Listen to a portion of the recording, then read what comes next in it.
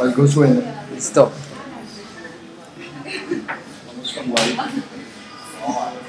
Bueno, buenas noches. Eh, bienvenidos a Hoy Porque Quiero. ¿Quieren se acercan, parce? Háganlo.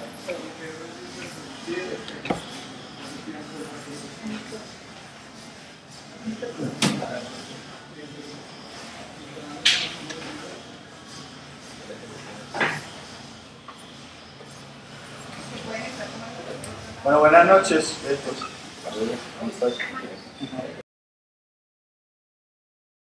La última semana de, de un año lo doy porque quiero, lleno de mucha, mucho conocimiento.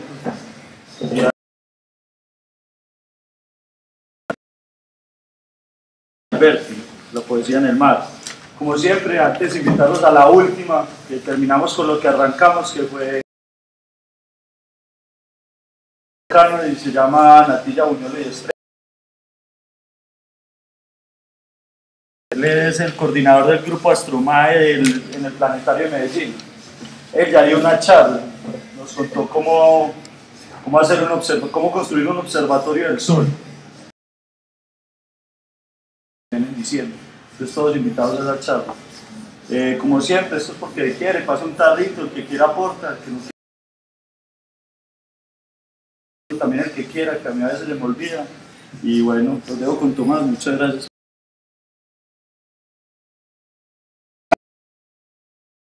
Gracias. Bueno. Y para mí es muy extraño estar como en un ambiente de este tipo, porque uno está acostumbrado como al acartonamiento involuntario que da la academia. De estar sentado o hablándole en general tema a personas que se acercan de cierta manera u otra, pero cuando Nane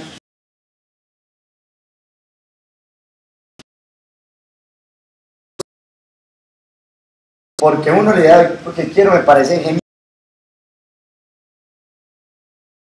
un tema para mí apasionante un tema que marca de una manera radical mi vida y quería sacarla como de ese ámbito del estudio y compartirla con ustedes un poco anómala a lo que se a, a lo que se presente aquí en lo que hoy porque quiero porque es porque es algo, es una construcción un poco sobre un tema académico en contra de la academia, pero en la academia. Y eso van a ver que este taller va a tener sentido. Voy a hablar hoy de la poesía de la mar. Y la hablar desde un poeta que conocí en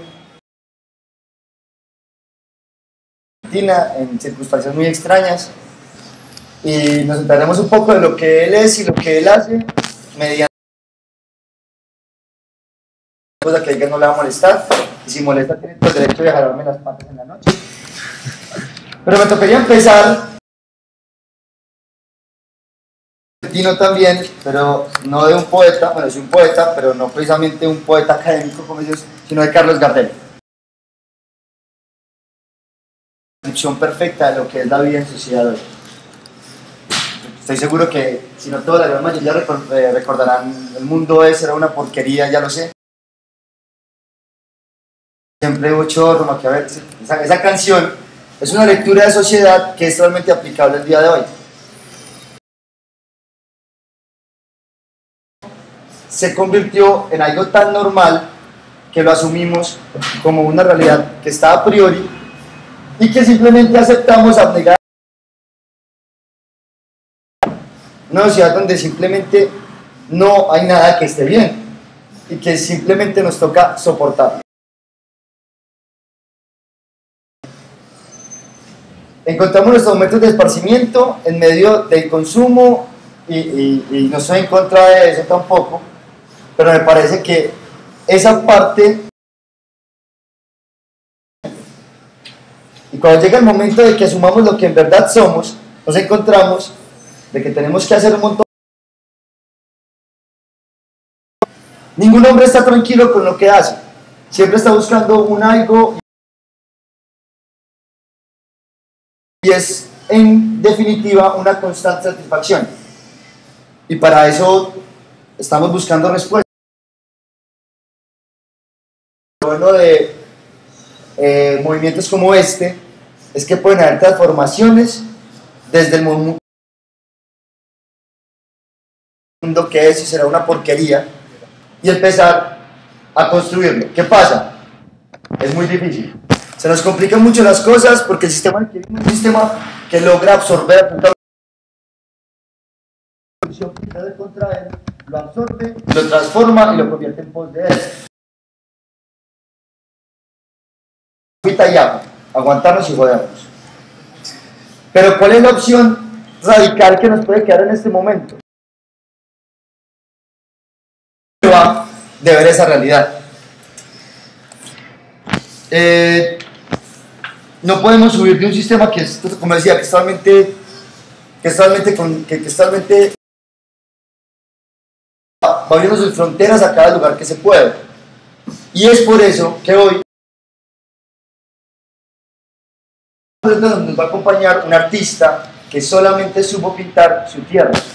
Tenemos el gran privilegio de que ese artista sea valenciano. Mediterráneo. Albertín nace en el Mediterráneo y esa es Este es un Rafael Sorolla, es un artista vivo, que es un éxito rotundo, del mundial quiero tener un cuadro de esto en mi casa, porque él logra poner en pintura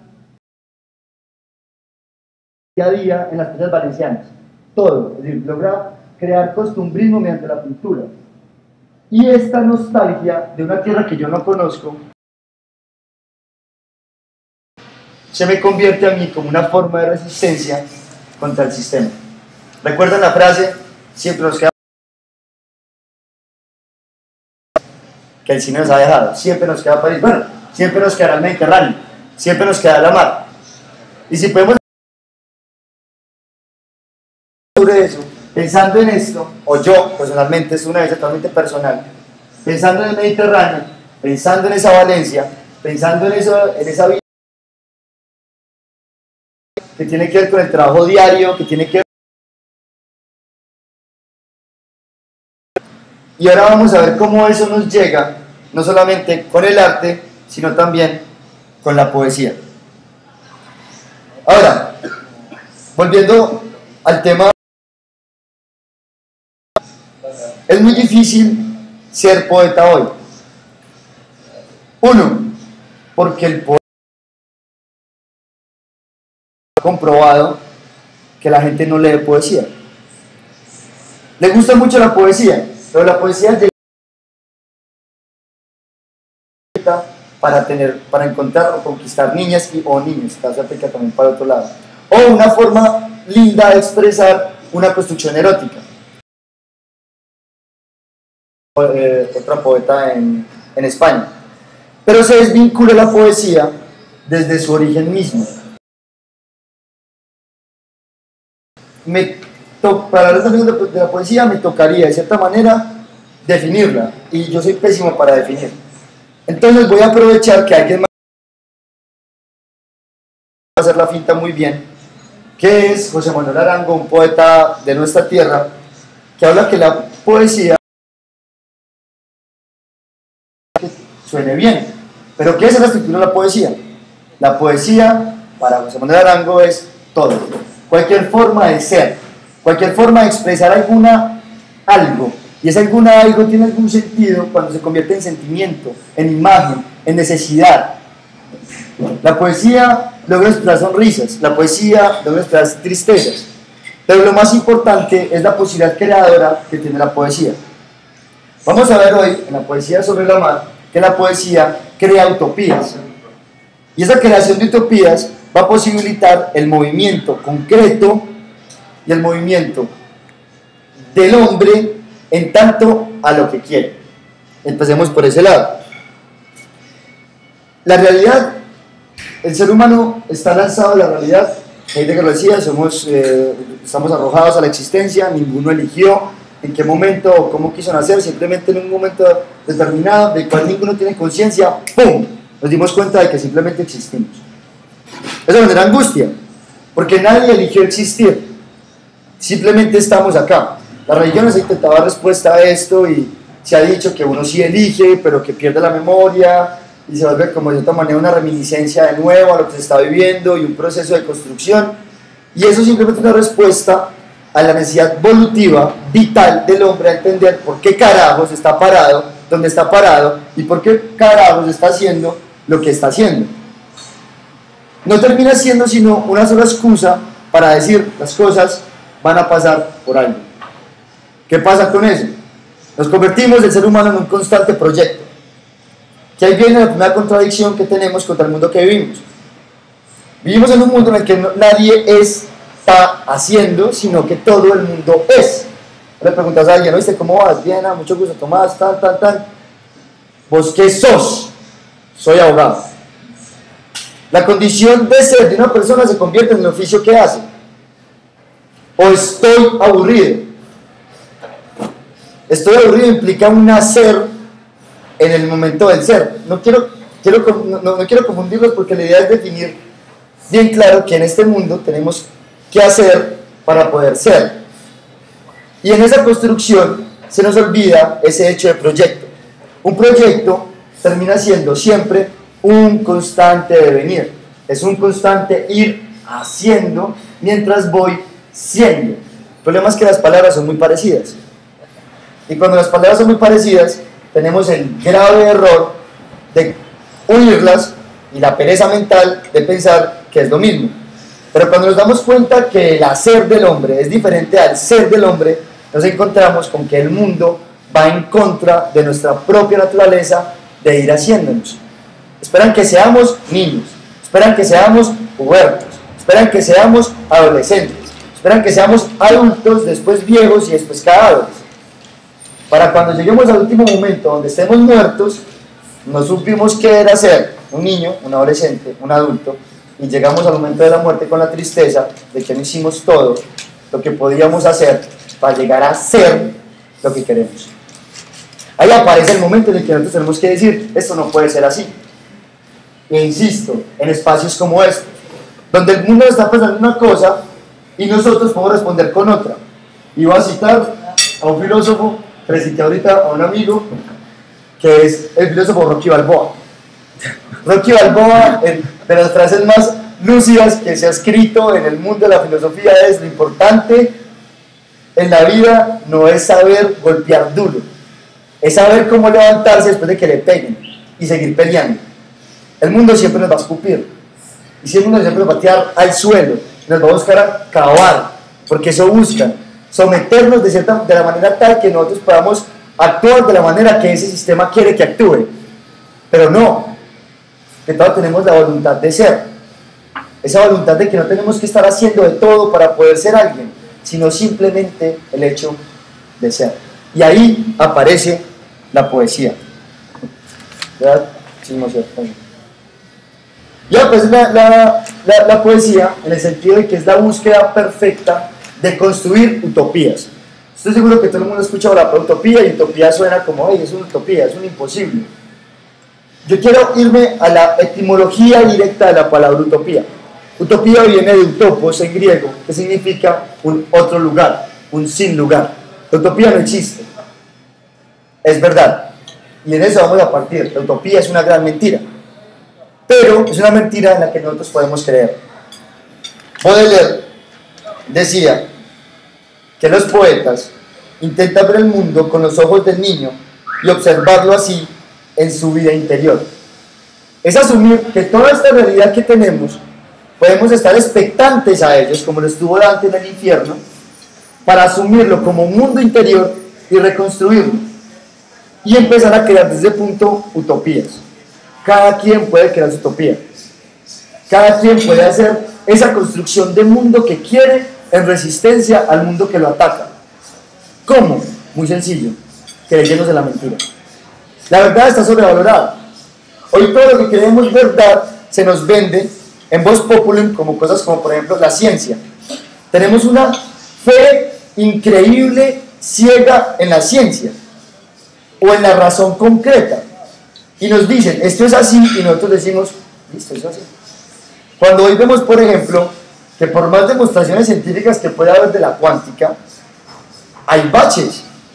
Los mismos baches que sufrió la, la, teología en la Edad Media, los mismos baches que sufrió la física, que por eso está la cuántica, en la modernidad. Y son baches en los que simplemente asumimos y creemos. Es una mentira que nos creemos en general. O sea, podemos decir hasta este punto que todo es una vil fantasía. De un poeta español porque yo personalmente amo la literatura española y me parece que el culmen de su literatura está en el teatro de la Edad de Oro. Cuando tenemos con Tirso de Tirso de Molina, nos sale con esa joyita, que es una belleza, es una cosa que cuando le ocurrió, estoy seguro que él estaba escribiendo y fue como, hijo de puta, me gané el Nobel, no hay nada que hacer. Es lo mejor que se puede escribir. La vida es sueño y los sueños, sueños son. Todos vivimos una ilusión. La ilusión del crédito, la ilusión de la estabilidad laboral, la ilusión de la estabilidad de la salud, la ilusión de la estabilidad, bla, bla, bla, bla, bla. Pero es porque todos nos inculcan desde pequeños que nos toca creernos esa ilusión. Nos toca creernos esa mentira. Nos toca creernos esa realidad que se construye por medio de los mil formas que hay para cubrir la cosa. Llega el momento en el que la resistencia puede ser, ¿y yo por qué me tengo que creer eso? Yo por qué tengo que creerme que las cosas son así y así, cuando yo sé y yo siento que no son así. ¿Qué voy a hacer? Ya está la respuesta de la poesía. Me voy a crear. Ya está la idea heideggeriana del hombre como obra de arte. Yo, como persona, puedo hacer de mí lo que me dé la gana. Y yo puedo construirme de la forma como quiero. Esta obra no solo representa una imagen que haya visto el autor, no solo representa un espacio físico existente, sino que representa esa observación, esa expectancia, esa figura del espectador que tiene el artista ante algo. Esto dejó de ser real. Dejó de ser parte de un puerto en Valencia en el año de 1980. Dejó de ser parte de un puerto en Valencia donde yo sé que voy y lo más seguro es que me encuentro esta imagen. No, se convirtió en bien interior. Esa imagen la vi, se grabó en mí, la reconstruí, hice un cuadro, ya es mío. Y no solo es un cuadro, estos cuadros millonarios. Pues el valor que tiene es que en este cuadro me construí yo mismo. Y aquí entramos a esas nuevas construcciones. Voy a hablar de tres poetas antes de llegar al Alberti para decir qué significa eso de crearse a sí mismo. El primero, el maestro de los maestros, el poeta de poetas, Dante. Dante llega al infierno con la guía de su maestro Virgilio. Hoy, cualquiera que se crea o desee o añore ser poeta cuando muera, debería estar esperando a Dante. Dante cuando llega al primer círculo del infierno, en la entrada encuentra un letrero grande que dice, los que entréis aquí, perded toda esperanza. Es una frase aterradora. Estamos entrando al infierno y nos, reciben de golpe diciéndonos, no, vea, hasta aquí no espere nada. La esperanza es esperar. Y eso hace Dante. Dante no espera absolutamente nada, y vamos viendo cómo va evolucionando, va cargando por ciclos de círculos, simplemente viendo. Él no espera que llegue alguien o que haga algo, él no espera estar haciendo algo, simplemente camina, conversa con su maestro y se encuentra con figuras como Francesco, se encuentra con eh, Francesco y Pablo y Francesca, perdón, se encuentra con los políticos de su época, se encuentra con su realidad en el infierno, y él simplemente lo observa, y empieza a un espectador de esa realidad que también le abyecta, que también lo atacaba, en el infierno, que es la parte más divertida de la comedia. Yo no sé quién aguanta después del purgatorio y el cielo. Lo único bueno del cielo es que él encuentra ese final, ese gran culmen que es encontrar a Dios y a Beatrice en la contemplación. Él no hace nada, tenemos que imaginarnos adelante viendo y ya, siendo un espectador, haciendo todo lo que hizo, todo el camino, desde el infierno. Dante estaba en el, cielo desde que llegó al infierno porque estaba mirando. Luego cuando llega al último, al tercer círculo del cielo, se encuentra con Dios y con su amada, que simplemente puede hacer lo mismo que estaba haciendo en todo el camino, que era mirar, contemplar. De Dante, el primer poeta de las utopías, aprendemos que el mundo es para observarlo y que no solamente hay dos niñas corriendo, no, es la realidad misma creada. La madre y su hija, el agua, la espuma. que es una utopía? La creencia en Venus, la hija de la espuma de las mares de Zeus. Simplemente verlo. El mundo nos presenta ahí y nosotros lo único que tenemos que hacer es contemplarlo. Luego llega otro poeta, mucho tiempo después, que podría estar al lado de cuando empecemos a caminar, pero cuando pues, si llegamos con él necesitaríamos llegar con él y un bus, porque es Fernando Pessoa. Fernando Pessoa es un escritor portugués que logra, logra, porque es un logro, no solamente espectar, no solamente un espectador de realidad, sino decir, yo estoy viendo esto como Fernando Pessoa, pero muchas veces cuando veo algo diferente dejo de ser Fernando Pessoa y me convierto en Alberto Caero. Y después me convierto en Ricardo Reis. Y después me convierto en Álvaro de Campos. Y soy legión, soy cientos. Van como en 132 los heterónimos. O de pronto estoy exagerando, póngale que sean, cuatro son muchos. Pues es una transmutación del hombre. Fernando Pessoa se transmuta él mismo y cuando sienta escribir, escribe como su maestro. A mí me parece muy berraco ese man porque es capaz de ser a sí mismo. Eso es muy duro.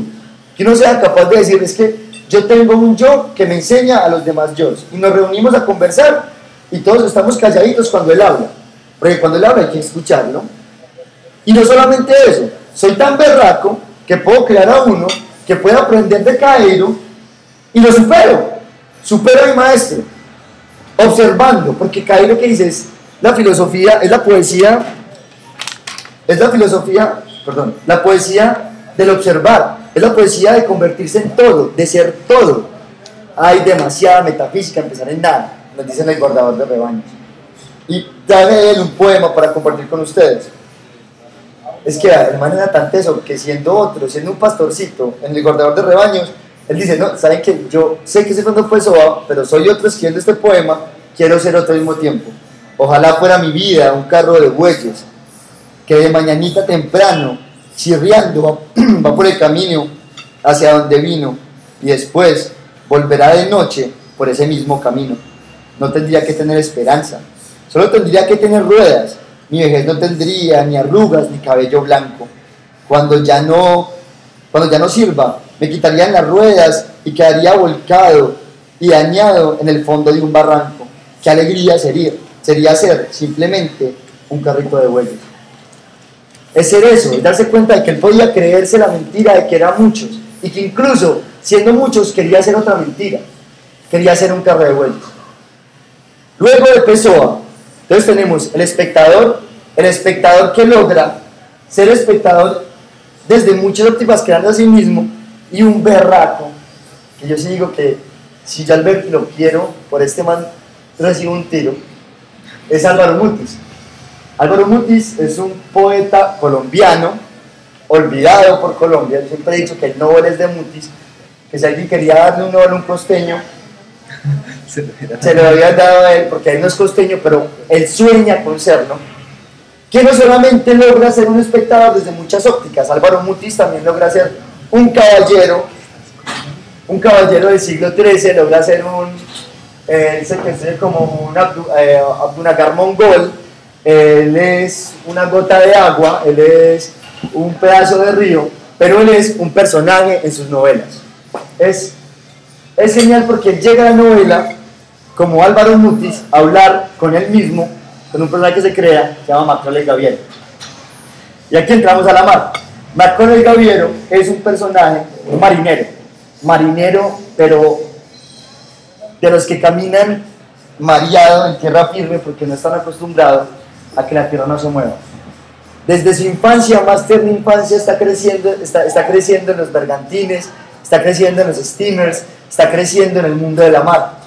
Es el gaviero porque sus ojos lo ven todo. Es el gaviero porque él no, siendo el capitán del barco, escoge siempre esa posición para, para, mandar. Es el gaviero porque tiene sus amigos abajo, la gavia es la parte de arriba. Se te en un barco, un barco pirata, donde está el que dice tierra a la vista. ese man es el Gabriel, eso se llama la Gavia. Y de ahí siempre vamos a encontrar a Macrol, que es el mismo Mutis, que es un capitalino, un rolo de ala carachas, que se mamó de la vida en la ciudad y se fue a ser costeño en otra parte. Y es costeño en México, y es costeño en el Orinoco, y a él le encanta el chilapo, llama a los ríos, y llega Mutis en esa creación de Macrol y dice que la mar enferma. Y la utopía que se construye en él mismo encuentra que él es un marinero en tierra, también, como lo será Alberto.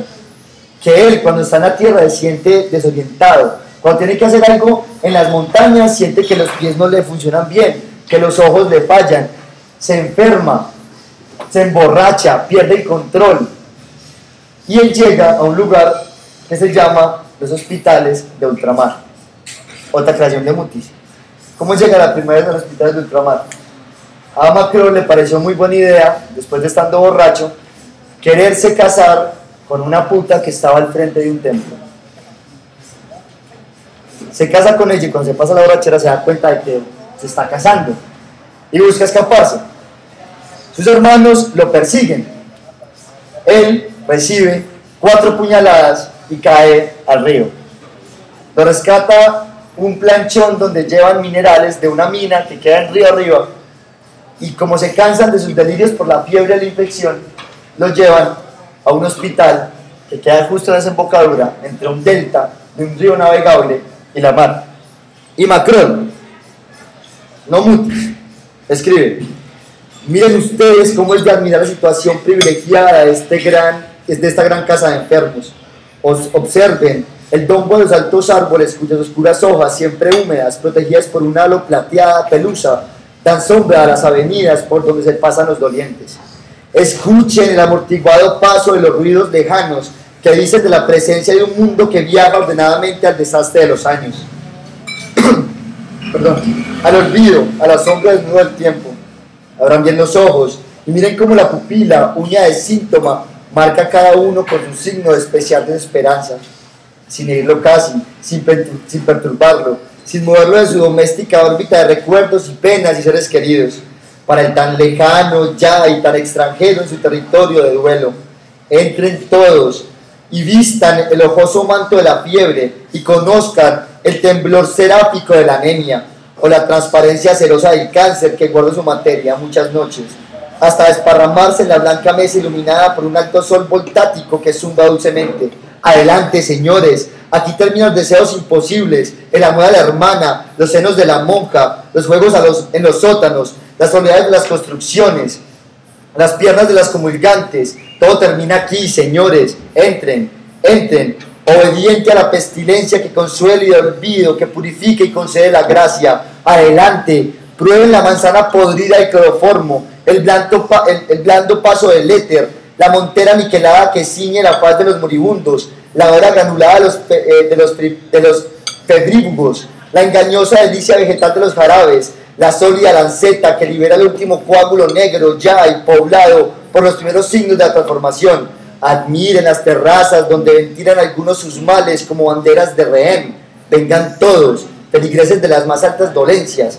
Vengan a ser noviciado de la muerte, tan útil a muchos, tan sabios en dones que infestan la tierra y la preparan para esa última destrucción. ¿Uno cómo hace para crearse una utopía, para crear resistencia y desgarrarse el alma en un hospital de ultramar que deja de existir cuando nos damos cuenta de que es una mentira? ¿Cuándo en la vida un hombre puede decir, quiero hacer algo para soportar el sistema, para soportar lo que me absorbe, lo que me acaba, lo que me destruye, y que llega el momento después en que dice, pero es que en ese algo también hay dolor. No me voy a negar al dolor. El dolor es tan humano como la poesía y la poesía encarna en mí ese dolor que yo soy. La utopía a este punto no llega a ser el lugar donde seremos felices, sino el lugar donde seremos hombres, donde seremos humanos, donde encarnaremos en la alegría, en el amor, en la tristeza, en el sexo y la abstinencia, donde todo aparece. Entonces con esos tres momentos los que estamos hablando, el eterno expectante que es Dante, que es Dante, el creador de realidades el creador de espectadores, que es Pessoa, y luego ese hombre que se desgarra el alma y se da cuenta que en la tristeza también hay poesía y que las utopías no pueden estar, no pueden estar desvinculadas de ellas y que el mundo perfecto es muy aburrido, que es Mutis. Esos tres elementos se encuentran en el hombre Rafael Alberti. Ya después de tanto preámbulo, llegamos a quien a, a que queríamos llegar. ¿Quién es Rafael Alberti? Rafael Alberti nace, yo traigo esos datos porque no me lo sé, en 1902. A sus 15 años su padre lo envía, nace en Cádiz, en la, bahía, en la bahía de Cádiz, en un pueblo que se llama Santa María, al, que, al cual nunca he ido, pero las fotos de ese pueblo son hermosas y entiendo su nostalgia por el mar. A los 15 años sufre un problema pulmonar en el que la contaminación del puerto le está dando daño y su padre lo envía para San Rafael en las montañas de Asturias. No muy cerca a Madrid, pero por ahí. ¿Qué pasa? Cuando su padre lo envía hacia allá, su padre muere y él tiene que regresar al funeral de su padre y encima de su ataúd escribe su primer poema a los 15 años. Nadie sabe qué dice el poema, porque fue un poema que enterraron con el padre. Apoyado sobre el sarcófago de su padre, escribe, se sabe que son cinco versos, que están con, que están con, con Augusto Alberti, su padre, enterrados en Santa María. Nadie sabe quién lo escribe, pero uno de sus compañeros, Federico García Lorca, escribe, ¿qué hubiera dicho si yo fuera Alberti? Padre, gracias a ti, oh gran maestro, por darme la vida y entregarle al mundo el único poeta que nace de la espuma. Lorca. Federico García Lorca. No estamos hablando de una amiguita de que cualquier pendejo que no, es Lorca, el poeta de la guerra civil, el poeta que por su forma de hablar, por su forma de sentir, recibe un tiro en la cabeza con una sonrisa en la boca. Lorca, el hombre que fue amigo y amante de Ali, el hombre que aceptó su homosexualidad en la cara de Franco, el hombre que aprendió a vivir de la manera como tiene que ir un poeta, poetizando. Escribe que, lo, que Alberti es el poeta del mar. Luego de esto, en 1925, Alberti regresa a Rafael porque su dolencia pulmonar no lo deja estar en Santa María. Y escribe su primer poemario a los 23 años, eso quiere decir que yo estoy quedado, eh, escribe Marinero en Tierra. Marinero en Tierra son más o menos 450 versos escritos en romance español que hablan de una nostalgia eterna al mar. Y voy a leerlos porque es que, por más que yo les diga a ustedes cómo es o qué dice o cómo lo dice, no tiene ningún sentido saber la experiencia que es encontrarse con el, con el maestro Alberto.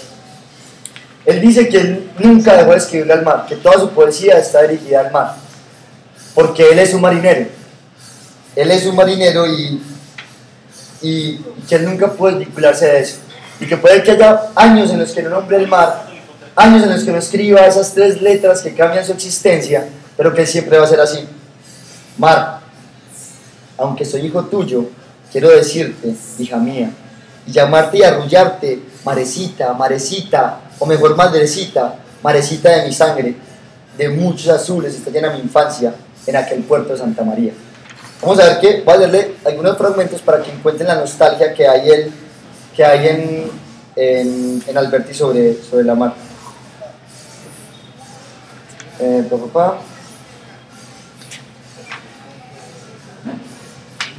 Te reconozco aquí, mar de mi infancia, hecho mi propia imagen inocente, mar alumno, luciendo el, uniforme azul con galones de oro de aquel colegio de San Luis Gonzaga, en donde tantas veces entraste como arena metido en mis zapatos. Te reconozco aquí, mar de mis años juveniles, ya lejos de ti, por las llanuras castellanas, cuando mar del recuerdo, marinero ya en tierra, te metiste una noche en mi garganta, rompiéndote a la aurora en un mar de canciones que las ibas llenando de sirenas, de huertos submarinos, de cristales y peces, de azul alborozado que tenías cuando ni tú ni yo conocíamos aún la sangre. Te reconozco aquí, más los días heroicos de las noches, sin sueño, alerta siempre, ciego de fe, seguro, levantados los hombros de alegría. Eres el mar vestido de soldado, el mar de pueblo que no muere nunca. Te reconozco aquí, mar del destierro, mar sobre el mar venido hasta otras playas, mar clavado en el lomo, mar bramando por escupir la espalda que lo hiere. No eres el mar de la melancolía, aunque de pronto puedes llorar piedras. Eres, aunque asediado por la justa nostalgia, quien da portazos contra el viento, el mar que sobre el mar jadea, separando a brazos y pecho las las oscuras olas que le impiden la luz de tu retorno. Te reconozco aquí, mar, siempre mío, mar de infinitas caras, ansioso mar de transformaciones, mar de mi corazón, mar de mi sangre. Este es ganador. Imagínense ustedes que un día nos despertemos y nuestras montañas desaparezcan. Esa costumbre de a la ventana y saber que estamos rodeados por la cordillera y que de un momento a otro, ¡pum!, ya no exista, sea un desierto. El no ver el mar, el mar que es un gran desierto salado, se convierte para Alberti en un desierto de nostalgia y convierte en el mar una utopía. Una utopía de juventud, una utopía de recuerdos, donde él simplemente rememora aquello que solamente vivió 15 años y de lo que después marcar toda su vida.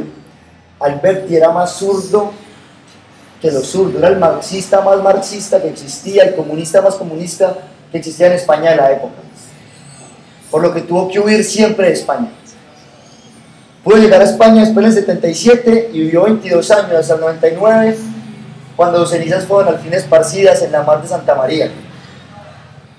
Pero del resto de su vida siempre lo pasó añorando ese mar que le arrebataron de joven, cuando ya no era marinero, cuando se enamoró de ellas. Branquias quisiera tener porque me quiero casar. Mi novio vive en el mar y no la puedo ver. Madruguera, plantadora, allá en los valles salinos, novia mía, labradora de huertos submarinos. Yo nunca te podré ver, jardinera en tus jardines, albos del amanecer. Colgadora no muralla, para tu calle la mar, sal. Una ciudad marinera, quiera tu casa arribar, sal. Di que no con tu bandera. Ojos míos, ¿quién había detrás de la celosía? Alguna niña bordando amores de contrabando para la marinería Ojitos que, ojitos que estáis mirando, abrid vuestra celosía, que estoy de amores penado, ojos míos, ¿quién habría detrás de esa celosía? Es un mar diferente, es un mar que lo va a acompañar durante toda su carrera, durante toda su vida como escritor. Alberti, el poeta de la mar, bautizado así por Lorca, la generación del 27. Aquí voy a hacer un paréntesis para contarles qué importancia tiene este, eh, esa esa denominación. La generación del 27 son un grupo de poetas y, ¿cómo decirlo?, intelectuales españoles que el 27 van a Sevilla a un árbol, a la Casa de la Cultura, un momento, eh, a un homenaje a Góngora en la Casa de la Cultura en Sevilla. Góngora es el gran poeta barroco de España, el gran referente a la poesía española, y les voy a decir más o menos como Estoy seguro que algunos les va a sonar, de, los, de quienes participan de esta generación. Pedro Salinas, García Lorca, Max Saud, Miguel Hernández, Salvador Dalí, Pablo Neruda, Pablo Neruda y Jorge Luis Borges. Esos dos últimos son dos personas que nombra Alberti, generación del 27, cuando está en Argentina. En esos constantes exilios, él nunca olvidó ese origen que él tuvo en el barroco, que él tuvo en ese encuentro con Góngora y él nunca se va a desvincular de ellos. Hay un poema hermoso que es El toro y las tres voces. Un toro herido en la mar habla con García Lorca, con Góngora y con Miguel Hernández mientras está muriendo. Mientras los tres mueren, porque esos tres poetas mueren martirizados de cierta manera. Eh, García Lorca con un tiro en la cabeza por, eh, por los franquistas, Miguel Hernández ahorcado en una cárcel y Góngora muere, muere de un eterno sin sentir. Decía que esa evolución de la, de la poesía en la mar para, para Alberti pasa de una añoranza a una mar que le fue arrebatada de infancia y ella empieza a convertirse en la mar. La utopía empieza a hacerse de él mismo una parte de ese mar. Ya después en el 44, un poco más curtido, ya más, ya con reconocimiento internacional grande como poeta, él se asume a sí mismo en un poema, en un libro que se llama Pleamar, hablarnos de lo mismo. Pero vamos a encontrar que hay un cambio, ya no hay nostalgia. Pero se cambia por una sensación que es peor, que es una sensación de, ¿cómo ponerla? que es como la saudade portuguesa, que es una sensación de que algo falta, es desasosiego. Esa palabra desasosiego que la perdimos nosotros como en nuestro español, a mí me encanta, porque es la pérdida de sosiego, pero no sabemos qué es el sosiego. Y es eso como una falta de algo que no sabemos qué es. Entonces luego de que sabemos que la mar nos es arrebatada en la infancia con, con, con esa ida a San Rafael con nuestra enfermedad, pasamos ahora que podemos ver la mar, pero aún así algo nos falta. El ritmo mar, el ritmo, el verso, el verso. Dale a mi verso, mar, la ligereza, la gracia de tu ritmo renovado. Yo soy mar, bien lo sabes, tu discípulo. Que nunca diga mar que no eres mi maestro. Y vamos, si te escucharas mar, si tu lenguaje pudiera mar, ser otro, ¿qué palabras dirías? De todos modos, mar, suenas al mismo y sigues pareciéndote a tu primer retrato. Mar, a veces sentada, no se sabe en qué asiento, se ve que, aunque quisieras, más forzudo, aún no puedes mata al mar. Ya hace aquí el mar, ni él mismo supo jamás el número de olas que deshizo su sueño. Ya hace aquí el mar, había querido ser marinero desde niño. Ya hace el mar, nadie tuvo como él una caja clavada con estrellas. Ya hace aquí el mar, la muerte sentada está mirando a la orilla. Ya hace aquí el mar, debía de ser también sobre su tumba el cielo. Murió el mar, no tenía para el amor más fuerzas que el que tiene un niño. ¿Quién será mar capaz de escribir epitafio? quiero más que en mi día, es hermoso, escucho bien, quiero más que en mi día, que en esa hora, que en esa misma hora te mueras tú también. Ya yo soy el mar. Ya el mar no me es arrebatado, sino que yo soy parte de él. Alberti logra confluir los tres elementos de los que habíamos hablado al principio. Logra unir ese espectador de la mar cuando niño. Logra crearse el mismo mar y ahora se da cuenta de que ese mar también es tristeza. Hoy estoy aquí hablándoles de un poeta porque estoy convencido de que la poesía dejó de ser algo bonito que regalar el día de San Valentín, el día de amor amistad, dejó de ser algo bonito que entregarle a una persona cuando quiere decir algo. La poesía hoy quiero mostrárselas como una forma de vida que ayuda a resistir el mundo en el que vivimos. Ya tenemos que dejar de leer poesía como se lee cualquier cosa ya tenemos que dejar de ver las cosas como dejamos de ver cualquier cosa. Hoy es ver la poesía como una posibilidad de existencia. Alberti y yo nos encontramos en el mar del Mediterráneo. Siempre me quedará este mar para pensar que todo puede estar mejor y crear desde él, vivir desde él, ser mar, ser arena, ser voy sacando ese, ese velero que está saliendo. Yo soy un montañero nacido en mitad de la montaña que me creo marinero en tierra. Y es una mentira, es una vil mentira. Pero yo sueño con sal, vuelvo a mar, siento la brisa y en eso existo. Hoy nos presentan varias opciones y nos dicen la opción del, del optimista, que es sonreír cuando todo está mal y decir, no, no importa, aquí vamos. La opción del pesimista, que es señalar y decir simplemente, esto está mal y así nos quedamos. La opción del realista, que es ver que todo es como es y que ahí tenemos que vivir. Pues yo tengo otra opción, que es la opción de la creación en la poesía, la opción de vivir en la quijotada, que es creer en el poetizar. El mundo me muestra molinos de viento, yo veo gigantes. Y la única forma en la que puedo llegar a ellos es investirlos con la sonriste, con la poesía. Muchas gracias.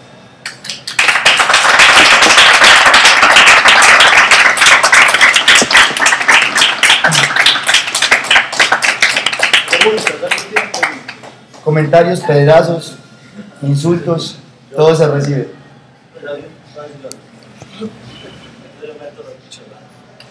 No, te quiero agradecer porque hay algo muy bacano y es la pasión que le pones, pues eso siempre le entra a uno.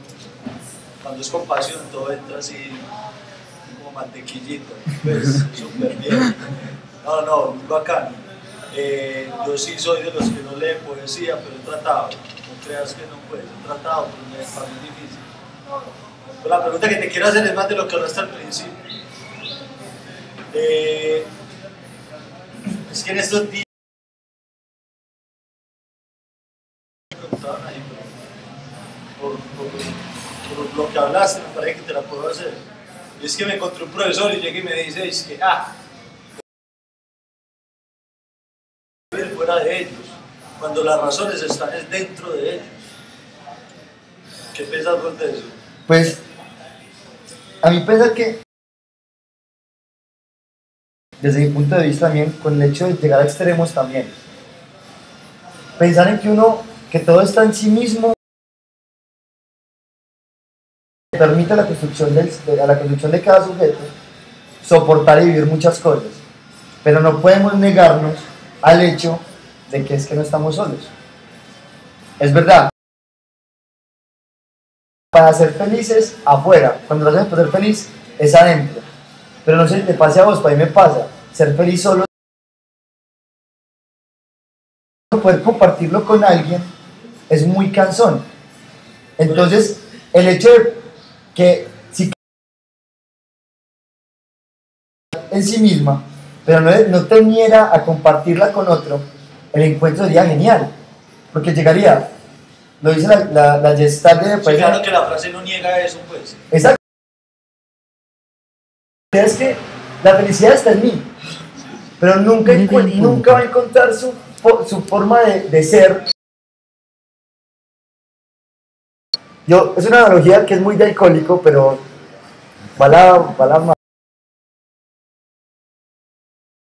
Es como un buen trago. No se la tomas solo en la casa, la vas a ver bueno.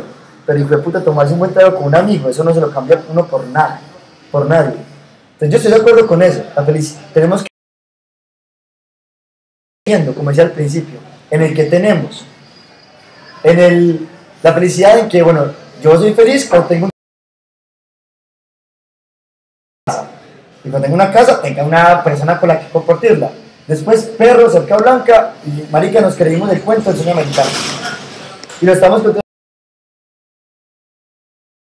Pues madre, si nos toca comer mierda, pues hay que de mierda para comer y poder comer mierda sonriendo.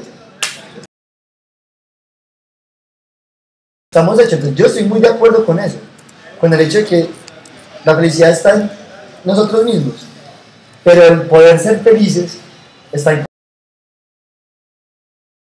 la poesía es una forma de felicidad. Intentar leer poesía, y también te lo quería decir, un amigo mío eh, dice que es que todo el mundo, pero hay poeta para todo el mundo. Y es hasta que, hasta que llegues al poeta. Eso hay que leer poesía hasta que uno lea uno que lee, que lee tres, le- lee tres. Yo, yo los he encontrado, especialmente en estos dos, en Mutis y en, y en Alberti. Pucha, a mí, poemas que me reencuentro con ellos y me dejan con dolor de estómago, pues es con, con- con- con ganas de Ya está en el compartir también, pues. eso es- Como Es que me hace poquito. como el como Alexander Supertramp. No sé si te viste la película de Into the Wild. La felicidad solo es verdadera cuando se con alguien. Y es, lo que por este tema es que te notan. es, pues sí, es, es pero se da, se da en la posibilidad, ¿cierto? Es decir, cuando yo leo un poema, cuando yo, leo un poema, estoy en mi casa y me encuentro en internet, en un libro, y me encuentro alguien, entonces siempre están mis amigos, a Calero es uno que le toca tres,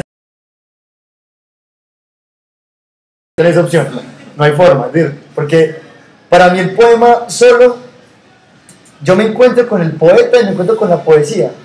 Pero cuando yo me vida, pues, puta, eso es- se me convierte mí en el, en el Parnaso. No necesito nada más. Y bueno, te interrumpo. Pero yo no estoy tan metido como él. Y él tiene la capacidad de que nos de que nos tiene esa pasión como vos le decís. Y yo también soy de los que me levantaba a las 4 de la mañana, levantate que no tengo una cosa. Digo, pero la capacidad que él tiene mi hermano, usted es de buena prensa.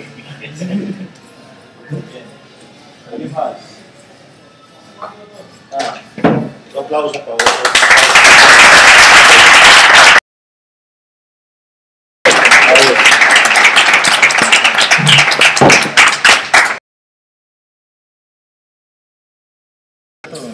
Con Álvaro José Cano, el coordinador del grupo Astromae del planetario, que se llama Buñuelo Natilla y Estrellas. Con eso cerramos el año de lo doy porque quiero. Este es el jueves,